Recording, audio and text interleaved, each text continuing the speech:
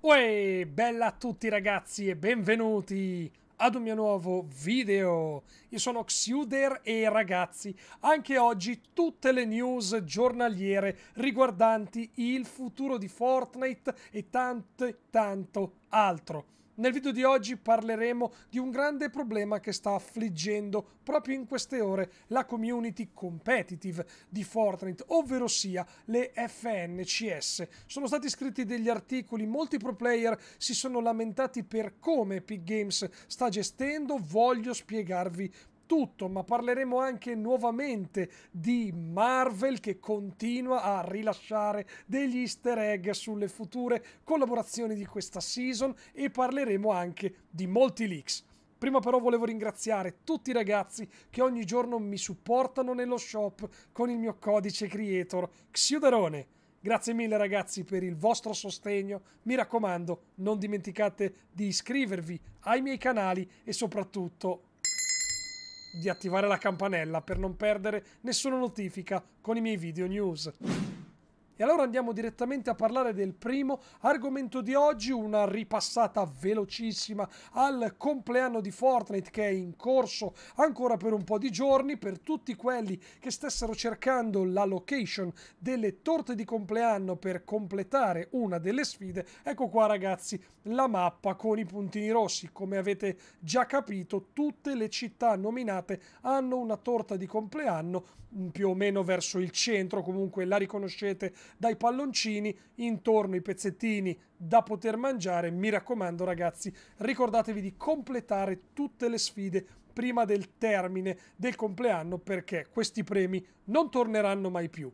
E andiamo avanti a parlare del prossimo argomento di oggi ed è proprio il main argument, argument si dice, non lo so, del video, le FNCS. Facciamo un attimino una delucidazione molto rapida sugli orari di broadcasting, quindi di trasmissione del torneo ed ecco qua ragazzi, come sappiamo le eh, FNCS, le finali saranno in ottobre e ogni sabato e ogni domenica potremo vedere in diretta eventualmente le qualifiche. FNCS Programming Schedule All Times in US Eastern. Cosa vuol dire? Vuol dire che nei weekend potremmo guardare, come leggete nella seconda riga, 1.15 pm live EU vuol dire le 19.15 e vanno avanti per un bel po' di ore, quindi non vi preoccupate che vi dirò nuovamente gli orari, era solo per farvi eh, rendere conto che se volete seguire il competitive sarà nei weekend.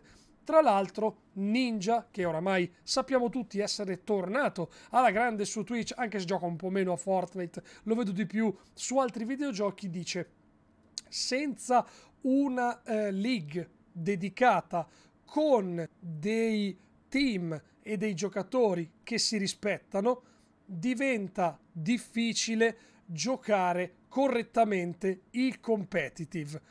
Il problema principale è la gente che va a griffare il landing di altri player o di altri team, le pushate a random, tipo quelle contro safe, quelle che non hanno proprio senso, oppure le dumb eh, kill, quindi le, le kill quelle un pochettino idiote, ignoranti, vedetelo un pochettino così, senza, eh, se Epic Games non prende in mano la situazione, il game viene rovinato per chi gioca e per chi guarda.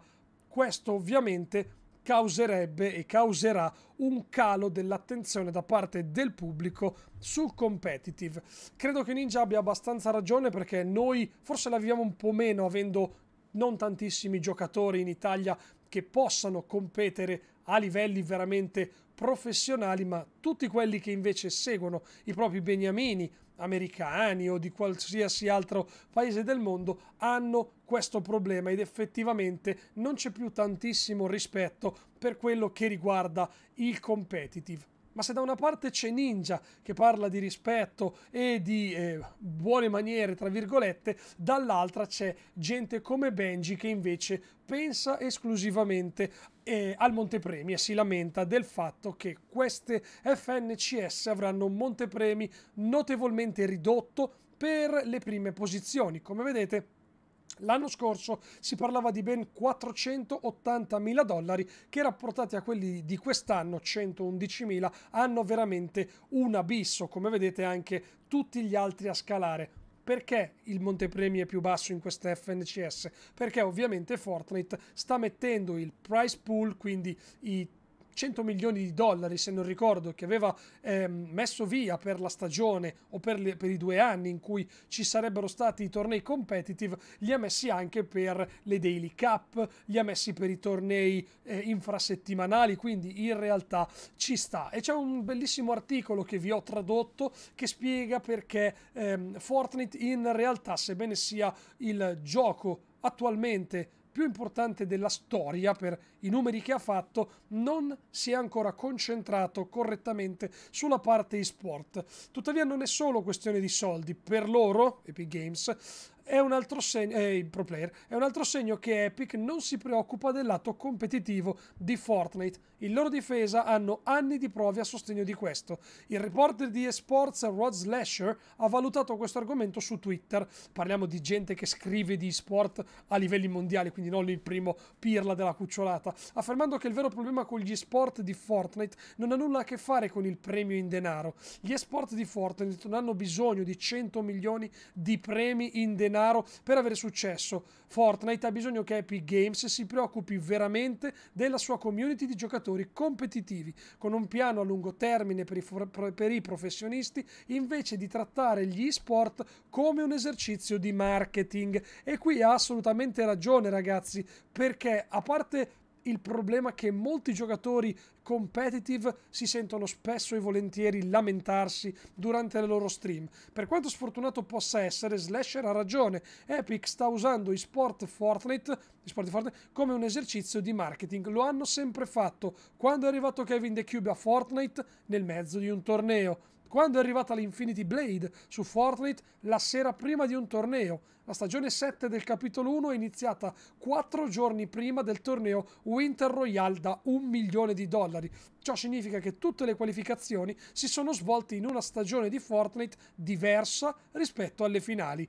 Ed effettivamente, ragazzi, il grande problema di Fortnite è appunto quello di dare poca importanza, poco peso alle vere lamentele della community. Secondo me dovrebbero fare un passo indietro perché ovviamente, nonostante sia sempre un gioco di punta, sappiamo che non ha forse lo stesso splendore di uno o due anni fa. Dovrebbe davvero pensarci. E voglio parlarvi di un altro argomento, ragazzi, molto, eh, molto rapida. La vedete questa immagine, la conoscete benissimo. Parliamo eh, delle, dei regali invernali dell'anno scorso. In realtà il background mi serviva solo per dirvi che Epic Games will be taking a break next until ottobre 4, quindi fino al 4 ottobre ragazzi non ci saranno aggiornamenti importanti, hanno preso una settimana di vacanze quindi eh, non, non aspettiamoci nulla. E chiudo con l'immagine che vi avevo detto di Marvel, arriva nuovamente questa immagine che dovrebbe essere relativa alla copertina di un fumetto e come vedete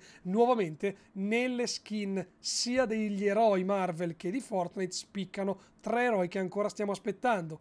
Capitan Marvel, Black Panther e Ghost Rider. Quindi ragazzi aspettiamoci davvero un sacco di news. Io vi, raccon- vi ringrazio, vi racconto una storia. Vi ringrazio per aver guardato il video news di oggi. Mi raccomando, non dimenticate un bel like, iscrivetevi ai miei canali e a me mi trovate su Twitch in live dalle 8.